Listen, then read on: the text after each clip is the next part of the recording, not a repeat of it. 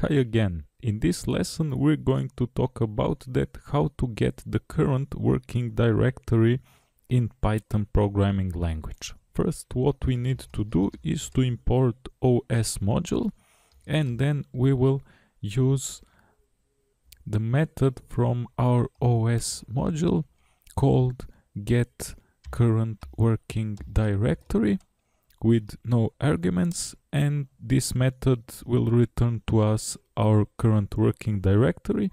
You can also set your current working direct by calling module change directory and we will put for example uh, inside uh, our method as an argument directory images. And let's now check our current working directory. So now our current working directory is directory images on D drive.